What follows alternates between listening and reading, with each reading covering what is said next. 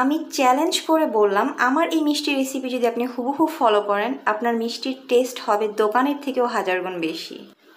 অনেকেই আমাকে কমেন্টসে বলে যে, আপু ইউটিউবে হাজারো রেসিপি ফলো করে মিষ্টি বানানোর জন্য ট্রাই করেছি বাট কখনোই মিষ্টির দোকানের মতো পারফেক্ট হয়নি। আসসালামু আলাইকুম। শুরুতেই বলে নিচ্ছি, যারা জীবনেও মিষ্টি বানাতে পারেনি, আমার এই রেসিপি যদি আপনি ফলো করেন, আমি চ্যালেঞ্জ দিয়ে বললাম, আপনি পারফেক্ট দোকানের মতো মিষ্টি বানাতে একদমই সফল হবেন। আর এটা আমার কথা না, এটা আপনি যখন বানাবেন, তখন আপনি নিজেই এসে কমেন্টস আমাকে বলবেন যে, আসলেই আপু, আপনার রেসিপি ফলো করে অবশেষে আমি মিষ্টি বানাতে পেরেছি। আর শুরুতেই সবাইকে একটা রিকোয়েস্ট করে নেব, যারা আমার চ্যানেলে নতুন আছেন, তারা প্লিজ আমার চ্যানেলটাকে সাবস্ক্রাইব করে আমার চ্যানেলের সাথেই থাকবেন, এমন আরও সুন্দর সুন্দর মজাদার রেসিপি পেতে। সো কথা না বাড়িয়ে চলেন, শুরু করা যাক।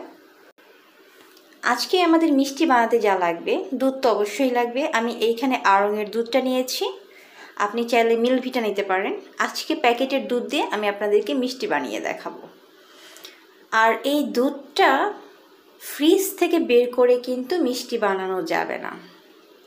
যেটা করতে হবে ফ্রিজ থেকে বের করে নর্মাল তাপমাত্রায় এনে তারপর কিন্তু ছানা কেটে নিতে হবে। তা না হয় কিন্তু মিষ্টি কখনোই হবে না।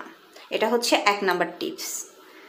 তো আমি এটা ঢেলে নিয়েছি। এখন যেটা করব, আমি এখানে কিছু পরিমাণ প্রায় হাফ কাপের মতো দুধ নিচ্ছি। এখন আরেকটা টিপস, এটা হচ্ছে দুই নাম্বার টিপস, যেটা করতে হবে এইখানে দুই টেবিল চামচ পরিমাণ গুঁড়া দুধ দিয়ে দিলাম। আপনি যে কোনো গুঁড়া দুধ ইউজ করলেই হবে। এখন এটাকে আমরা ভালো মতো মিক্স করে নেব। আর আজকে আমি আপনাদের সাথে যে রেসিপিটা শেয়ার করছি আমার মনে হয় না এই রেসিপিটা কেউ শেয়ার করেছে এর আগে কখনো। আর কেউই কিন্তু আসলে দেখা যায় পারফেক্ট রেসিপিটা শেয়ার করে না ইউটিউবে এটা অনেকেরই অভিযোগ থাকে। তো এটা ভালো মতো গুঁড়া দুধটা মিক্স করে এখন আমরা সেই দুধের মধ্যে দিয়ে দিলাম। আবার একটু ভালো মতো মিক্স করে নেব। তো এটাকে এভাবে ভালো মতো অবশ্যই মিক্স করে নিতে হবে। আর আমার আজকের ভিডিওটা একটু লম্বা হবে, কারণ আমি মিষ্টি বানানোর এই টু জেড আপনাদের সাথে শেয়ার করব। তো ভালো মতো মিক্স করে এখন এটা আমরা দিয়ে দিলাম চুলাতে। একদম হাই হিটে এটা আমরা ছানা কেটে নেব। এটা মিডিয়াম কিংবা লো আছে কিন্তু দেওয়া যাবে না।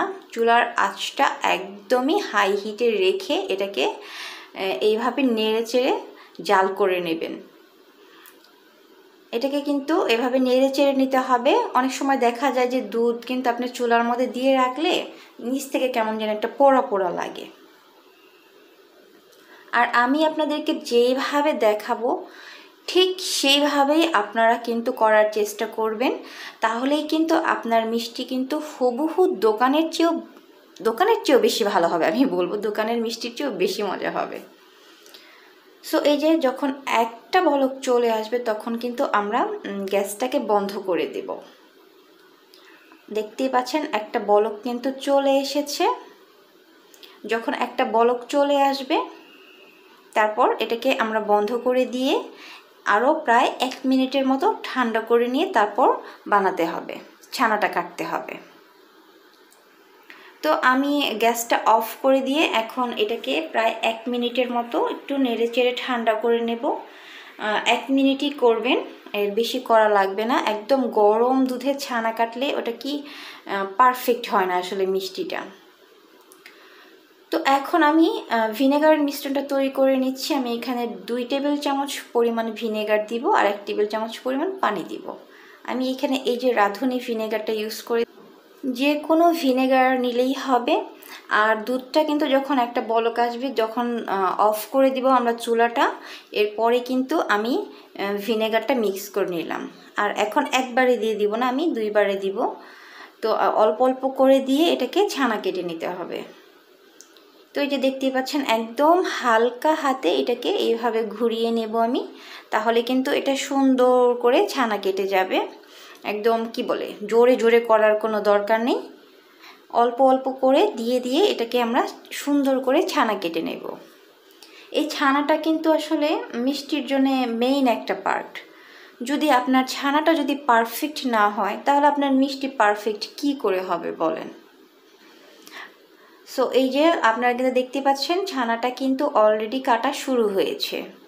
ছানাটা কাটতে একটু টাইম লাগতে পারে সো সেই ক্ষেত্রে ভয় পাওয়ার কোনো কারণ নেই আল্লাহ দুধ থেকে এখনও ছানা কাটছে না কেন? কাটবে টেনশনের কারণ নেই, আস্তে ধীরেই হয়ে যাবে।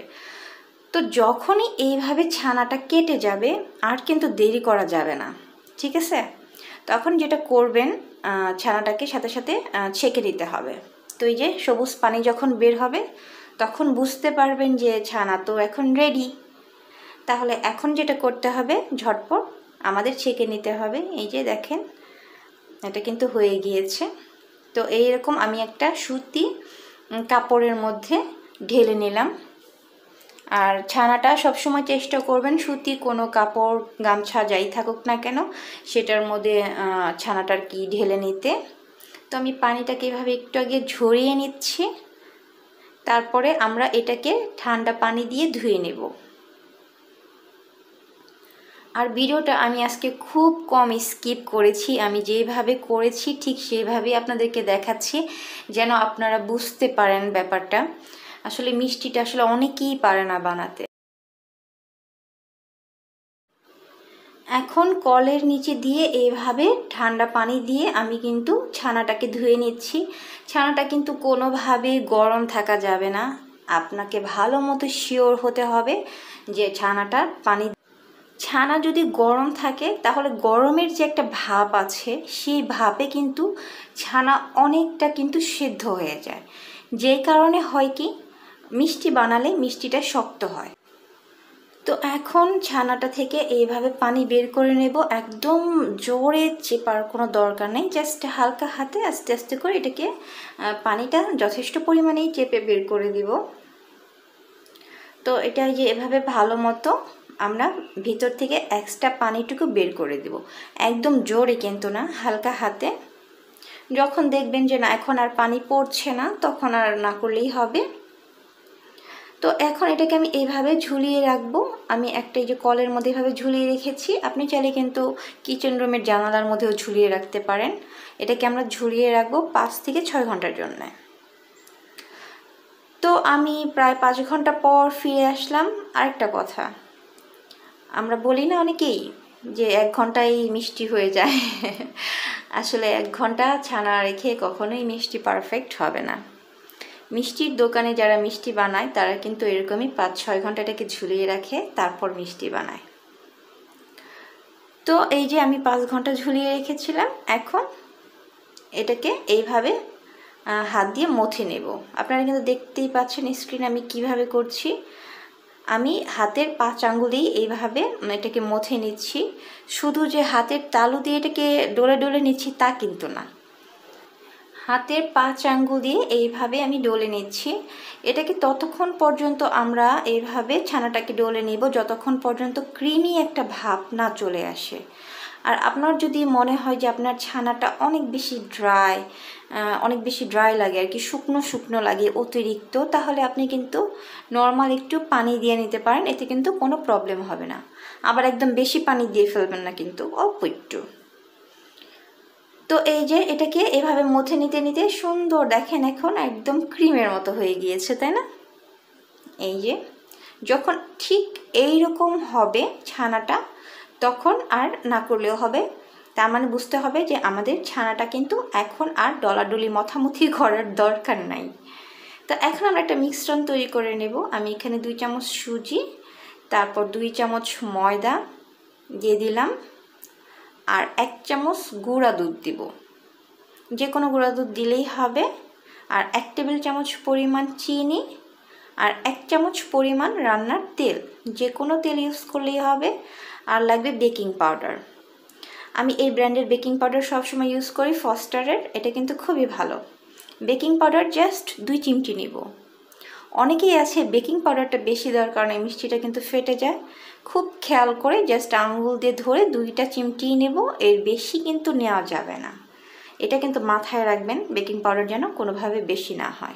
এখন এটাকে মিক্স করে নিচ্ছি, সুন্দর করে এটাকে একদম ভালো মতো মিক্স করে নেবেন। সো আমরা এখন মিষ্টি বানানোর জন্য চলে যাব। মিষ্টি বানানোর আগে যেটা করবেন, ও, আরেকটা কথা তো বলতে ভুলেই গিয়েছি। আজকে মিষ্টিটা বানাবো হাঁড়িতে, ভাতের হাঁড়িতে। তো অনেকে আবার এই টেনশন একদম, মাথা নষ্ট, আল্লাহ কোন হাঁড়িতে বানাবো ননস্টিক প্যানে বানাবো না কিসে বানাবো? তার মানে নানান ধরনের কৌতূহল। ভাই, অত টেনশন করার দরকার নেই, বাসায় যে রান্না করি সেই হাঁড়ি আছে না, সেটা নিয়ে নেবেন। ভাতের হাঁড়িটা সব থেকে বেশি ভালো হয় মিষ্টি, কারণ হাঁড়িটা কিন্তু অনেকটা তলযুক্ত থাকে, তাই না? তো সেটার মধ্যে কিন্তু আপনার মিষ্টিটা খুব সহজেই সুন্দর, একদম গোল গোল হবে। যদি আপনি ছড়ানো কোনো পাত্রে নেন, তাহলে হবে কি আপনার মিষ্টি কিন্তু গোল রাউন্ড শেপের হবে না, চ্যাপটা চ্যাপটা হবে। তো এই যে কথা বলতে বলতে ভিডিও অনেক দূর চলে এসেছে। তো এই যে মিশ্র, আমি কিন্তু চুলাতে সেই চিনির শিরাটা দিয়ে এখন এটা মিক্স করে নিচ্ছি। আমরা যে মিশ্রণটা একটু আগে রেডি করলাম, সুজি, দুধ, চিনি সেটা এখন এটাকে একদম হালকা হাতে আমরা মিক্স করে নেব। এখন এখানে আর কোনো মথামথির কোনো দরকার নেই। জাস্ট হালকা হাতে এটাকে মিক্স করে নিতে হবে। এখন চিনির শিরার ব্যাপারটা বলি। আপনারা কিন্তু স্ক্রিনে দেখতেই পেয়েছেন, আমি এখানে দুই কাপ পরিমাণ চিনি নিয়েছি আর ছয় কাপ পরিমাণ পানি নিয়েছি। সেটাকে আমরা চুলায় দিয়ে দিয়েছি। একটা বলক যখন আসবে, তখন আমরা মিষ্টিগুলো দিয়ে দিব। আর মিষ্টিটা বানানোর ঠিক আগেই কিন্তু চিনির শিরাটা চুলার মধ্যে দিবেন। কারণ মিষ্টি বানিয়ে কিন্তু বেশিক্ষণ রাখা যাবে না। মিষ্টি বানানোর সাথে সাথে আমরা সেই শিরাতে দিয়ে দিব। মিষ্টি বানাতে বানাতে দেখবেন শিরাতে একটা বলক চলে আসবে। অনেক কথা বলতেছি আজকে। তো এই যে আমি কিন্তু এটা স্কিপ করি নেই, একদমই। দেখতেই পেলেন আমি কতটুক সময় এটাকে একটু মথে নিলাম সেই মিশ্রণটা দিয়ে। বেশি সময় না কিন্তু।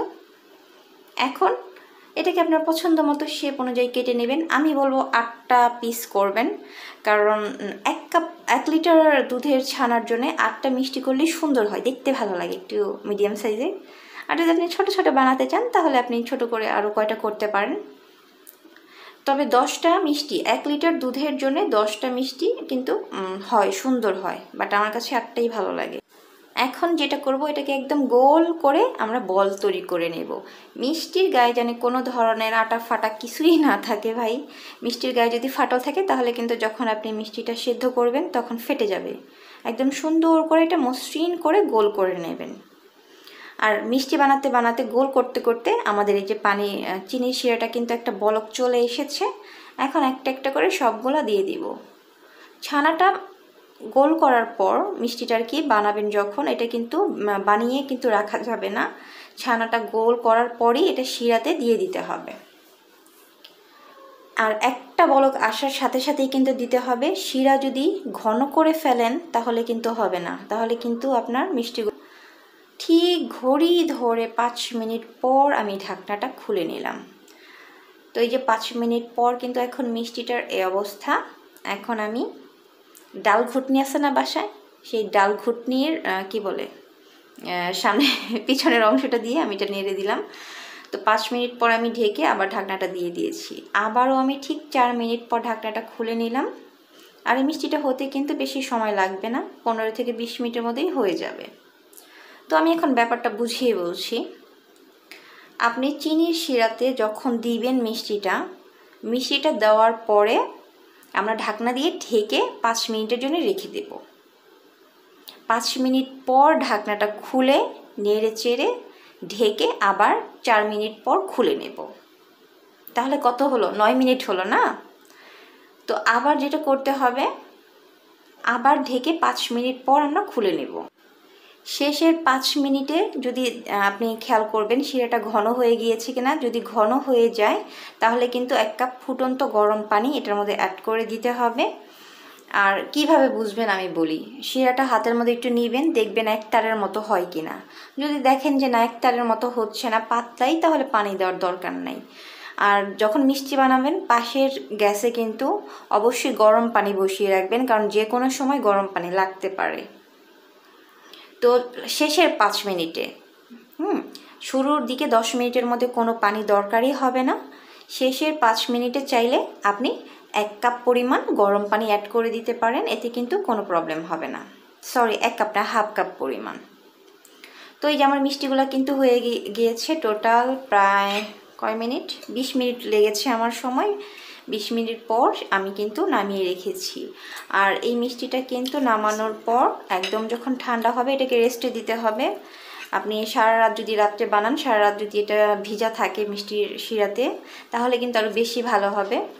মিনিমাম পাঁচ ছয় ঘণ্টা কিন্তু শিরাতে রাখলে সুন্দর করে শিরাটা মিষ্টির ভিতরে কিন্তু যাবে। আমি জানি না আমি কতটুকু বোঝাতে পেরেছি। আর আপনারা যদি কেউ বুঝে না থাকেন, কোনো প্রশ্ন থাকে, তাহলে আমাকে কমেন্টসে জানাবেন। আমি অবশ্যই আপনাদের সবার উত্তর দিব।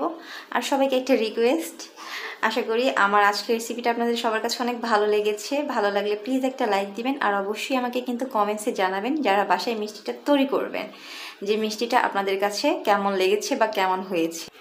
আমি চ্যালেঞ্জ দিয়ে বললাম, আমার এই রেসিপি হুবহু ফলো করলে আপনি আর মিষ্টি বানাতে ফেল হবেন না।